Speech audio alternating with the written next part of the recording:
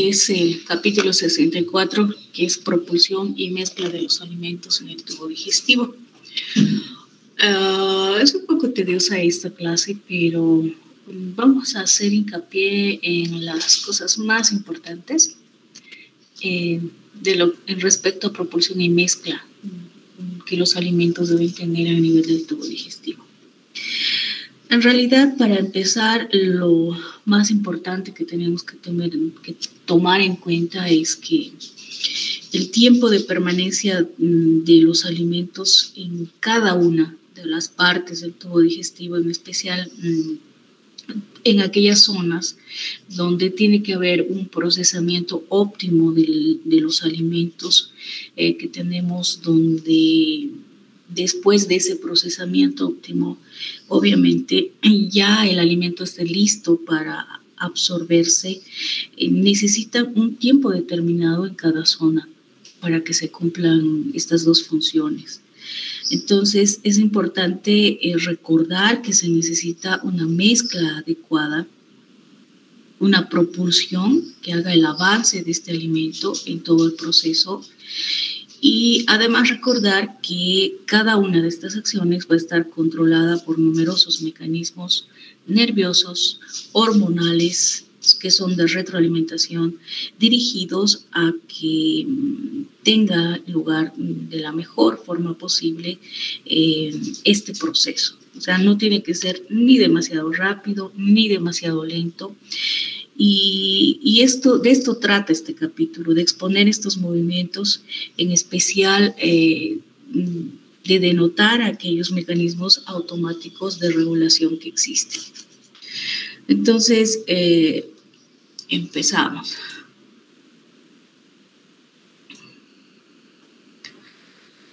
Em, dos cosas que debemos aprender a definir, hambre y apetito.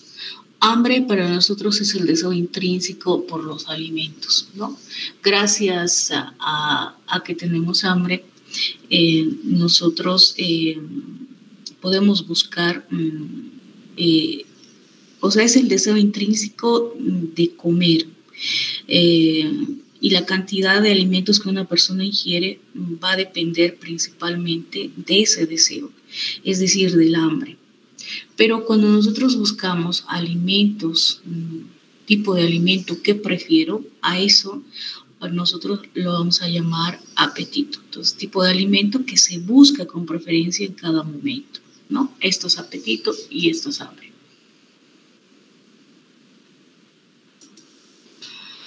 Ah, en lo que respecta a, mm, a estos mecanismos eh, del, hambre y el apetito eh, constituyen eh, sistemas de regulación automática que son muy importantes para que se pueda ah, mantener el aporte nutritivo adecuado para nuestro organismo. Y lo que nosotros ahora vamos a detallar es que, cómo son esos aspectos mecánicos para que nosotros eh, podamos completar esto que hemos ingerido. Entonces, hablamos sobre la masticación y la deglución. Como ustedes saben, eh, la masticación obviamente está llevada a cabo por los dientes que son diferentes para que nosotros perdón, para que nosotros podamos, o están diseñados eh, específicamente para cumplir, ciertas funciones, ¿no? Entonces así decimos que las piezas anteriores, que son nuestros incisivos, poseen eh, una fuerte acción de corte, mientras que los molares, los molares, los premolares, ejercen una acción más bien trituradora. ¿No? Y la acción conjunta de todos los músculos maxilares eh, va a ser eh, que estos dientes, eh, al ocluirse, eh, mantengan una presión o ejerzan una presión sobre los alimentos de hasta 25 kilos de fuerza en los incisivos y 100 kilos de fuerza en los molares. Entonces, importante es los dientes cada uno cumpliendo su función y la acción conjunta de los músculos maxilares con estas fuerzas que ejercen en presión con los respectivos dientes hacen que este proceso de masticación se ejecute. Obviamente tiene que estar regulado por ramas motoras del quinto par que inervan estos músculos. Eh, además intervienen los núcleos del tronco del encéfalo que están controlando este proceso de la masticación y zonas reticulares del centro del gusto que inducen a estos, que estos movimientos sean rítmicos. Por lo tanto, además ah, existe una estimulación de ciertas áreas que están ah, ubicadas a nivel del hipotálamo, de la amígdala y de la corteza cerebral. Ahora, ¿cómo es este reflejo masticatorio? En primer lugar, la presencia del bolo alimenticio desencadena lo siguiente. Uno, existe un reflejo inhibidor de los músculos de la masticación y de la, y de la mandíbula que hacen descender la mandíbula. Y esta caída o descenso va a inducir a un reflejo de distensión y contracción de rebote y por lo tanto la mandíbula llega a ocluir los dientes. Y el bolo se comprime nuevamente en la boca inhibiéndose otra vez la musculatura mandibular, así una, una y otra vez hasta ah, triturar adecuadamente los alimentos. Después de que eh, se han triturado los alimentos existe un bolo alimenticio dentro de la boca, tiene que ocurrir el fenómeno de deglución. Y esta deglución tiene una fase voluntaria y una fase involuntaria. ¿Cuándo se da la deglución? Cuando el alimento está preparado ya para la deglución, la lengua va a presionar hacia arriba y hacia atrás contra el paladar y el alimento se arrastra en forma voluntaria en sentido posterior, pero va a llegar un momento mm, ya más atrás donde la deglución se vuelva una fase involuntaria. Entonces viene la deglución eh, en la fase faringea. Y esta fase faringea es involuntaria y como ustedes pueden ver, el proceso de devolución eh, existe más atrás la fase involuntaria que dura dos segundos, donde es muy importante tomar en cuenta que se tiene que cerrar la tráquea para que se aperture el esófago. Y, existe además, como ustedes pueden apreciar, una onda peristáltica que está originada en la faringe que empuja el bolo alimenticio hacia el esófago. Esa sería la fase faringea. ¿Cómo es el control nervioso del inicio de la fase faringea de la deglución? Entonces, nosotros debemos recordar por neurología y anatomía eh, que existen sobre todo, por ejemplo, este, es el centro de la deglución. Aquí está el bulbo raquídeo, eh, los nervios, nervio vago, nervio glosofaringio, el trigémino. Aquí podemos apreciar en el esquema el bolo alimenticio, la úvula, la epiglotis, las cuerdas vocales que obviamente tienen que cerrarse cuando nosotros ingerimos el alimento o está en la fase faringea y eh, la peristalsis propia que va a haber y más adelante vamos a poder entender en lo que respecta al esófago. ¿no?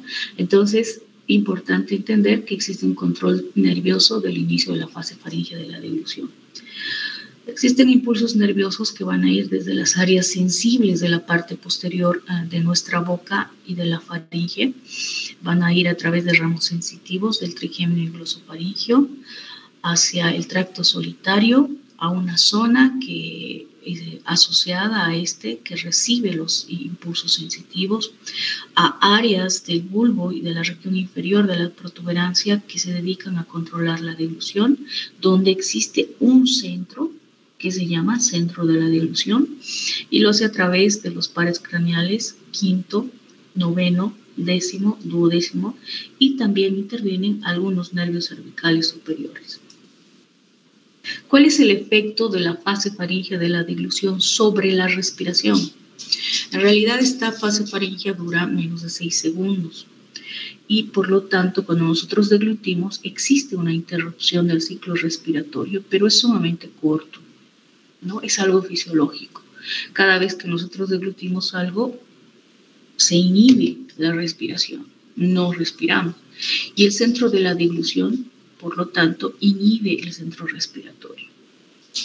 Aquí nosotros podemos apreciar en dibujo las distintas fases, la fase bucal, la fase faringea y la fase esofágica, en lo que respecta a la propulsión o el pasaje del alimento a través de, las, eh, de los primeros órganos en la parte superior. En la fase bucal eh, vemos que en eh, resumen el bolo se proyecta hacia atrás, que ustedes ven, el bolo se proyecta hacia atrás, empujando, esto está empujado por la lengua, disparando el, el, reflejo de la deglución. Luego viene la fase faringea de la cual hemos hablado, donde el esfínter esofágico superior se relaja eh, y la epiglotis eh, cierra la faringe. Y la fase esofágica, donde el bolo es empujado por las contracciones peristálticas y ayudados eh, en realidad por la gravedad, ¿no? Desciende por la gravedad. Entonces, nos vamos, ya que hemos visto la fase bucal, nos vamos a la, después de la fase faringea, nos vamos a la fase esofágica, que ya hemos podido ver el pequeño esquema hace ratito con las tres fases. Aquí debemos reconocer movimientos peristálticos primarios y movimientos peristálticos secundarios. Entonces, ustedes pueden ver aquí el pasaje del bolo alimenticio a través del esófago y uh, recuerden movimientos peristálticos primarios y movimientos peristálticos secundarios. ¿Qué característica tienen los primarios? En realidad es una continuación de las ondas peristálticas que ya venían de la fase faringea y recorren el tramo por lo menos en 8 a 10 segundos. Y los movimientos secundarios en realidad están causados por la distensión del esófago por la presencia de alimentos que están retenidos y persisten hasta que se complete el eh, vaciamiento mm, del órgano. Estas eh, se ven iniciadas en el sistema nervioso mientérico que habíamos hablado en la anterior clase del sistema entérico, mm, del sistema nervioso entérico, que era una especie de cerebro y que era muy importante el plexo mientérico en relación a a los movimientos peristálticos o la parte, o que tenía injerencia más en esa parte muscular.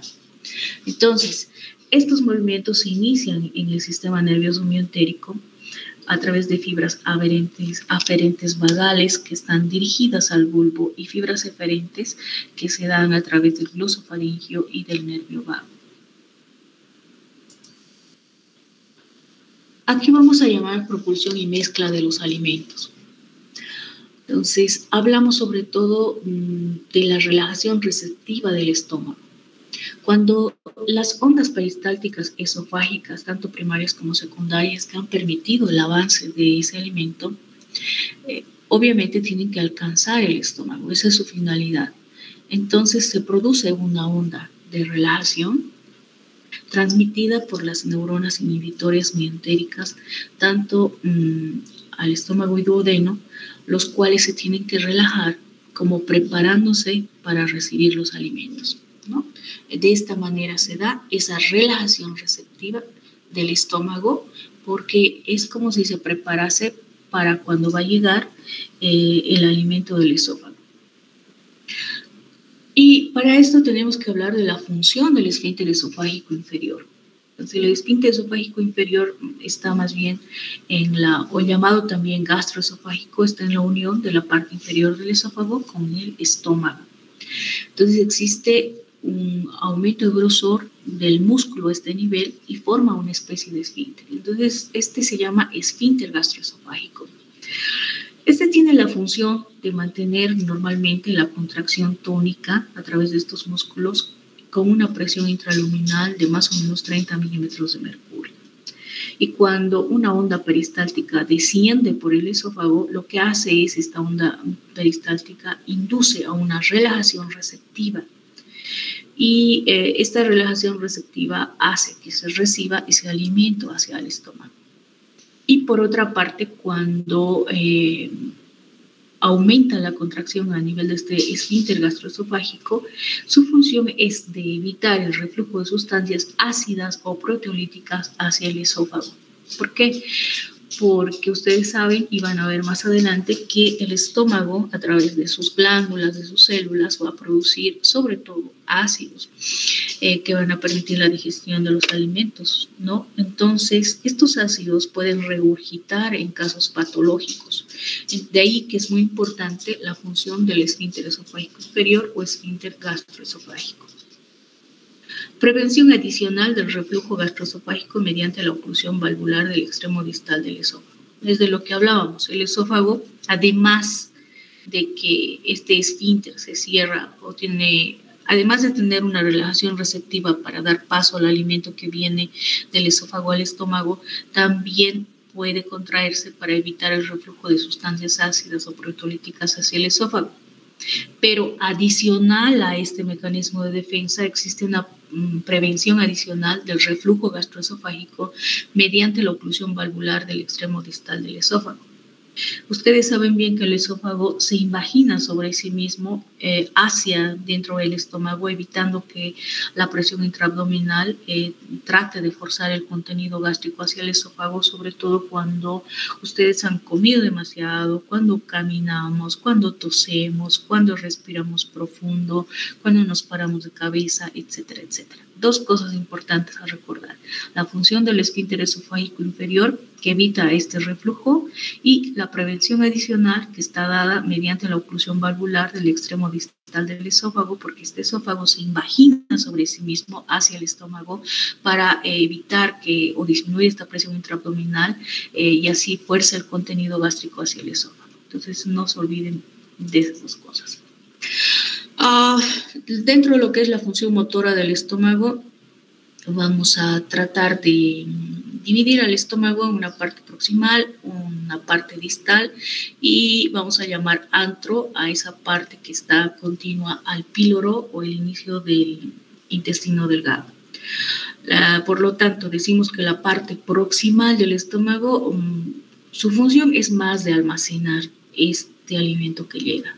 Más allá, en el estómago distal, vemos que la función es sobre todo de mezclar, mezclar y triturar triturar a través de eh, a través de movimientos eh, constantes que tiene el estómago. Y el antro, eh, sobre todo, tiene la función de regular el vaciamiento gástrico, pero no lo regula solo, sino que también eh, lo regula a través de la inervación, a través de cierto tipo de hormonas que se van a secretar y van a permitir este vaciamiento gástrico, como vamos a ver más adelante. Entonces, dentro de las funciones motoras del estómago estarían, hemos dicho, la de almacenamiento y ah, decimos que los alimentos que ingresan van a provocar una distensión gástrica y van a desencadenar un reflejo vago-vagal. Este va a ir al encéfalo en respuesta, eh, por lo tanto, eh, en respuesta a eso va, se va a reducir el tono muscular del estómago y este se va distendiendo, mm, sobre todo con volumen de 0 a 8 a 1.5 litros aproximadamente. ¿No? Aquí en este dibujito ustedes en esquema pueden apreciar el bolo que ha descendido, eh, aquí se ha permitido el ingreso mm, por la parte receptiva del estómago, aquí se ha almacenado el alimento, eh, aquí están en, la parte de mezcla y a través de, de este reflejo vago-vagal el encéfalo responde y de esta manera reduce el tono muscular del estómago y este se distingue.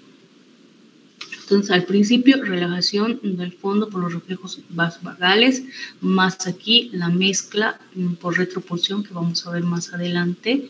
Y ah, se tiene que contraer aquí, mm, hay una especie de contracción entre lo que es el cuerpo y, el antro.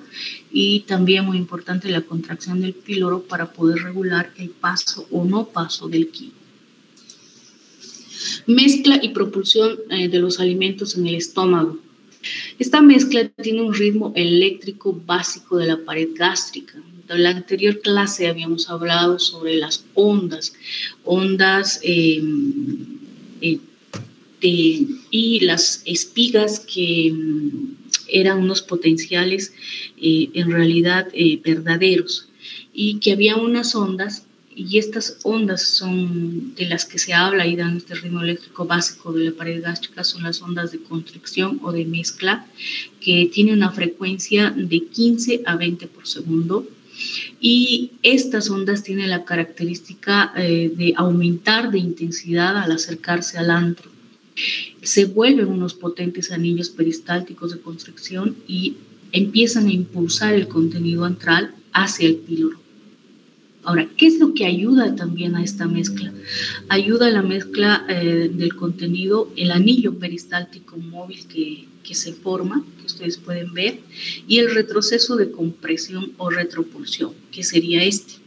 Se pueden observar en este esquema, aquí está el estómago, esta parte del alimento que se está almacenando, pero se eh, forma un anillo peristáltico móvil que hace que lleve de un lado al otro este, el alimento y es como si lo mezclara, mezcla el contenido, pero además se nota un retroceso de pulsión, o sea, viene hacia aquí, viene hacia aquí y antes de, lograr atravesar eso, vuelve otra vez, ¿no? Ese es el retroceso de compresión o retropulsión.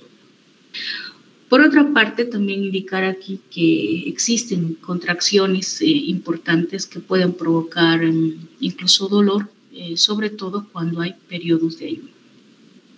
Entonces, importante en la mezcla y propulsión de los alimentos, primero que tienen un ritmo eléctrico, que existen unas ondas de constricción o de mezcla que tienen una frecuencia de 15 a 20 por segundo, que sobre todo van a aumentar de intensidad cuando se estén acercando al, antro y además se empieza a formar un potente anillo peristáltico de constricción, impulsando el contenido antral hacia el píloro y que ayudan a esta mezcla también dos cosas importantes este anillo peristáltico que es móvil y el retroceso de eh, compresión o retropulsión.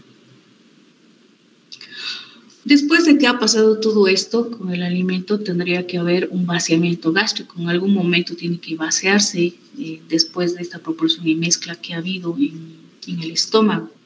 Entonces existen construcciones peristálticas antrales, como hemos visto, intensas durante el vaciamiento gástrico. Además de la mezcla gástrica, van a ejercer una acción de bombeo denominado eh, hacia la bomba pilórica, ¿no?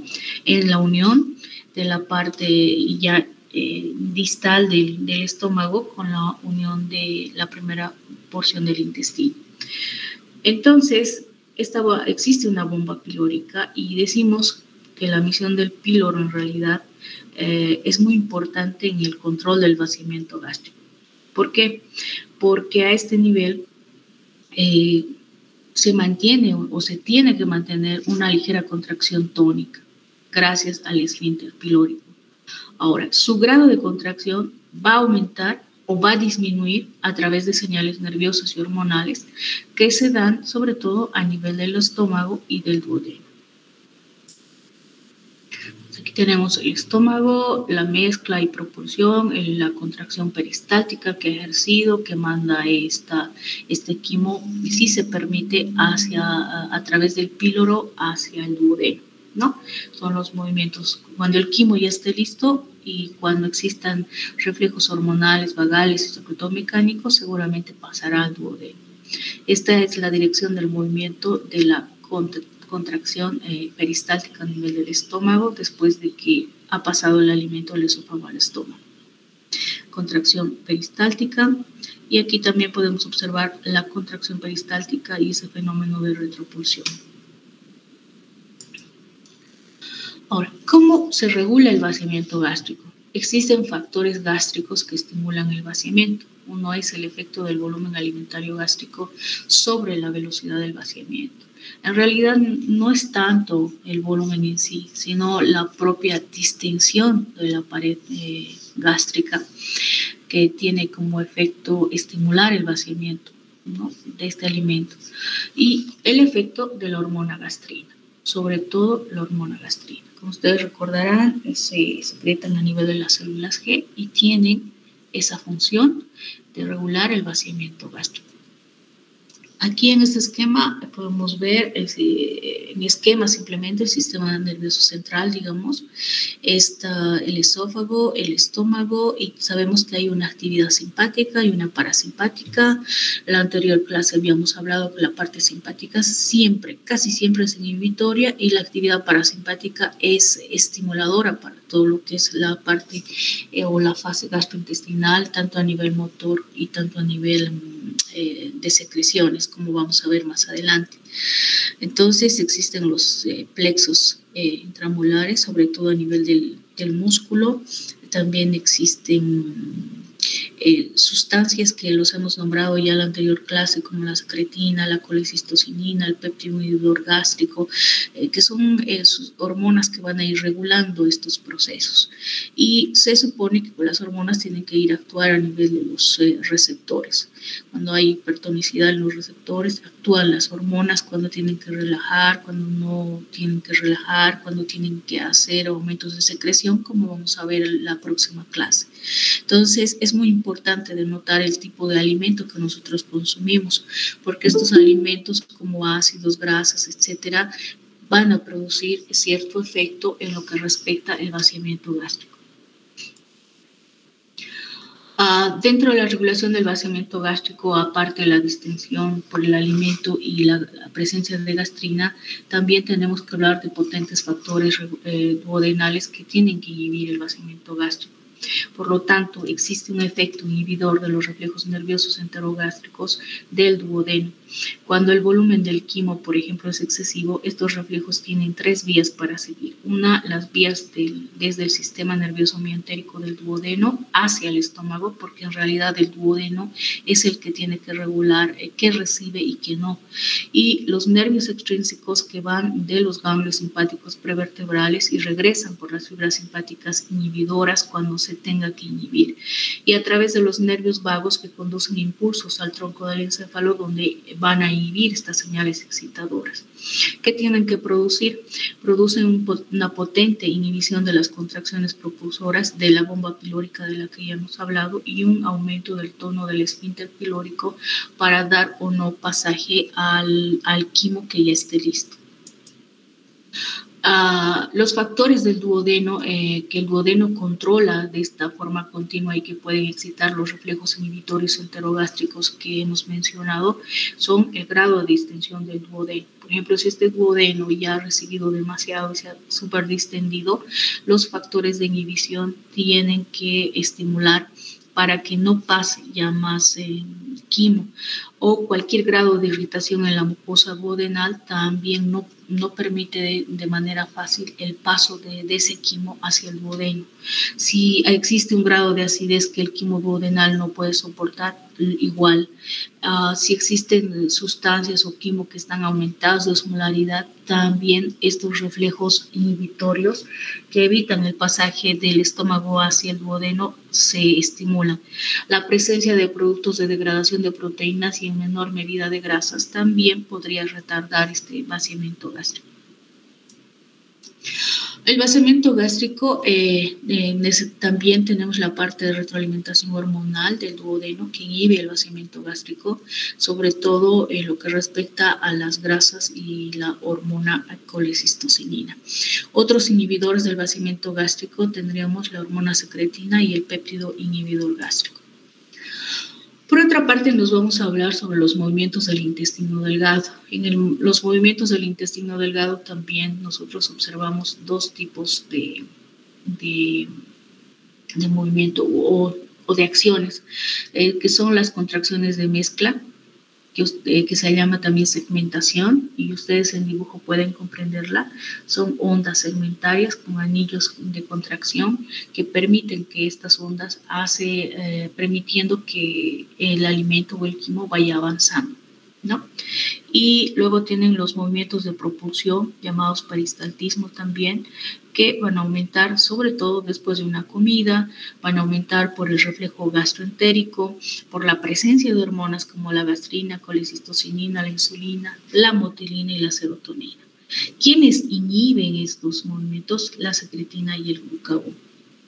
Entonces aquí podemos ver estos movimientos de peristaltismo. Este es el tiempo cero, se produce una contracción y eh, permite que este bolo o alimento eh, a través de esa contracción sea empujado al segmento receptor que está distendido y en espera.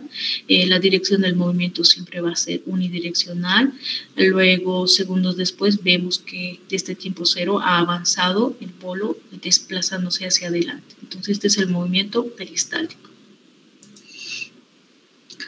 ¿Cuál es la función de la válvula iliocecal? Entonces recordamos, aquí podemos nosotros en esquema el ciego, tenemos unas cintillas eh, y estas cintillas eh, por anatomía empiezan a formar una especie de austras. recuerden ustedes la válvula iliocecal, que está a nivel de la unión del ilium con el ciego, y esta sería la porción terminal del ilium, y este es el apéndice simplemente. ¿Cuál es la función de esta válvula iliocecal? Primero, evitar de que el contenido fecal del colon vaya otra vez hacia el intestino delgado. Además, resiste eh, previsiones inversas de 50 a 60 centímetros de agua, entonces es fuerte. El esfínter iliocecal tiene la finalidad de reducir la velocidad del vaciamiento del contenido ileal este contenido vaya al ciego, excepto después de una comida. Pues cuando el ciego se distiende, se potencia la contracción del esfínter iliocecal y este peristaltismo ileal se inhibe. ¿no? Es importante, la función de la válvula iliocecal. Aquí tenemos eh, que la presión y la irritación química relajan el esfínter y estimulan el peristaltismo. Esta sería la válvula y este sería el esfínter iliocecal. Entonces, la fluidez del contenido va a facilitar este vaciamiento. Colon. ¿Cuáles son las funciones principales en movimientos? Las funciones principales del colon, como ustedes saben, la absorción de agua, de electrolitos que proceden del quimo para formar heces sólidas. Además, almacenan la materia fecal hasta su expulsión. Y reconocemos en el colon dos tipos de movimientos los movimientos de mezcla, donde se pueden observar las austras, están formadas por las cintillas anatómicas que tiene el colon, y los movimientos propulsivos o movimientos de masa. Entonces, son en el colon dos tipos de movimientos que deben reconocer, movimientos de mezcla, que son las austras, y los movimientos propulsivos, que son más bien movimientos en masa. Aquí podemos apreciar respecto a la motilidad del intestino grueso en una radiografía contrastada. Ah, ustedes pueden ver las austras con construcciones similares a la de la segmentación, pero en realidad son más lentas. Y obviamente recordar que la función del colon es de la absorción de agua, electrolitos, sales, etc. Y los movimientos que se dan a nivel del colon son movimientos en masa. Hay una contracción, una porción larga del intestino grueso. ¿Y cuál es la función de estos movimientos? Es de mover las heces hacia el recto. Por lo tanto, después de que ha pasado todo ese proceso mecánico, tiene que venir este reflejo que se llama de defecación. Estos movimientos de masa o fuerza mm, fuerzan a las heces a penetrar hacia el recto y de ahí que mm, tiene que estimular el, deseo de la defecación. Y ese deseo de la defecación se da como una contracción refleja del recto y la relajación de los esfínteres anales. Entonces, vemos cómo se da la defecación en sí. El goteo continuo de la materia fecal por el ano se tiene que evitar, no es normal, tendría que ser una patología, ¿verdad? Entonces, para esto, para evitar este goteo continuo, existen dos esfínteres. El esfínter anal interno, que hace un engrosamiento liso circular, y el esfínter anal externo, que se da por el músculo voluntario estriado, que está controlado por las fibras del nervio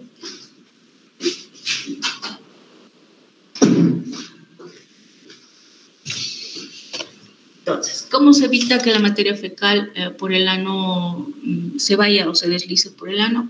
por estos esfínteres, anal interno y anal externo. ¿Cómo son los reflejos de la defecación? Entonces existe un reflejo intrínseco que está comandado por el sistema nervioso entérico del recto, porque habíamos dicho que el sistema nervioso entérico en realidad estaba desde lo que empezaba la parte de la boca, en la parte superior de la boca, hasta el ano. Entonces, cuando existe ya la presencia de heces, el recto se distiende su pared.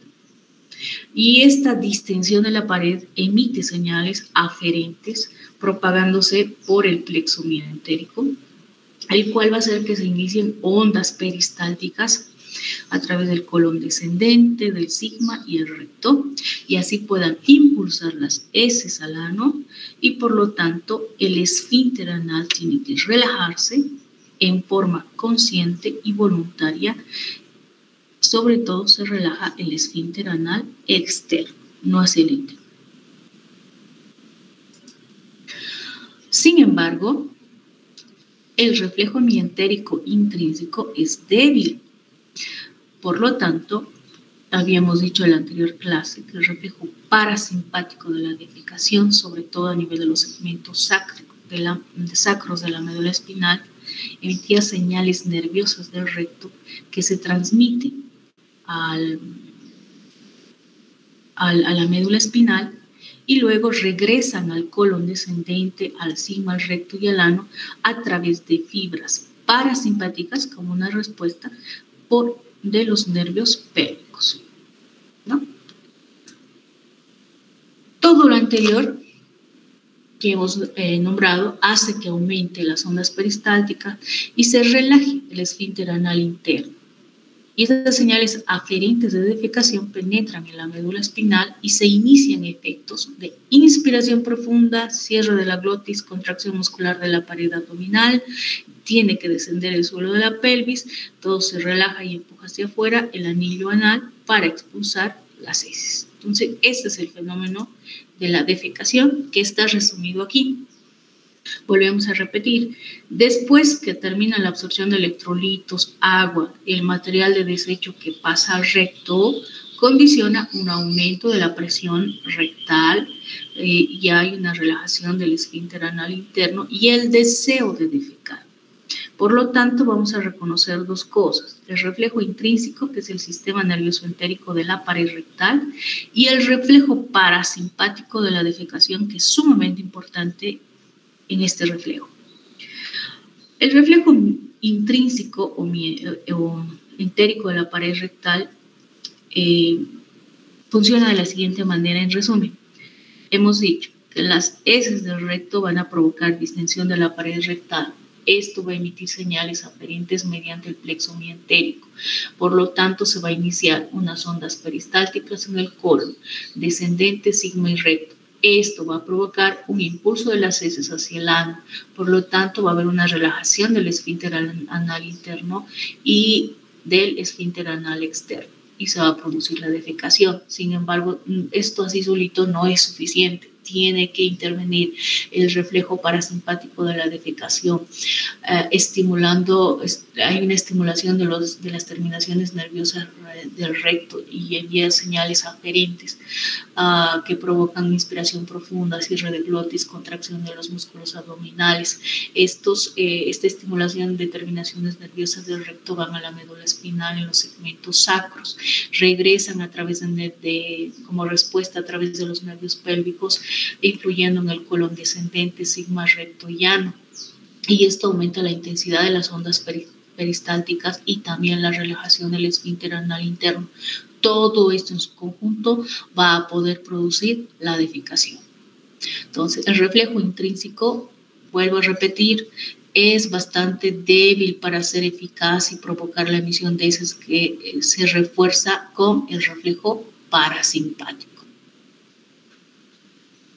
Otros reflejos autónomos que influyen en la actividad intestinal tenemos los reflejos peritoneo intestinal, el reflejo nefrointestinal, los reflejos eh, bésico intestinal, etcétera, etcétera, etcétera. Entonces, ¿qué quiero decir? Que estos reflejos peritoneo intestinal, eh, por ejemplo, eh, si hay una irritación del peritoneo, eh, inhibe enérgicamente la acción de los nervios entéricos excitadores, por lo tanto podría causar una parálisis a nivel eh, del intestino, sobre todo en aquellos pacientes que están cursando con peritonitis. Y los reflejos nefrointestinal, vesicointestinal, etcétera, inhiben la actividad intestinal en caso eh, respectivamente que, que, por ejemplo, haya una irritación a nivel o inflamación a nivel renal o haya una inflamación a nivel vesical. ¿No? Estos reflejos eh, tienen injerencia con la parte intestinal, eh, pero en casos eh, obviamente patológicos. Bueno, gracias por su atención. Por favor, los espero la siguiente clase. Es muy importante porque vamos a hablar sobre las funciones secretoras del tubo digestivo. Agradezco su presencia. Hasta mañana. Digo, no, hasta el viernes. Gracias, doctora. Ustedes, gracias.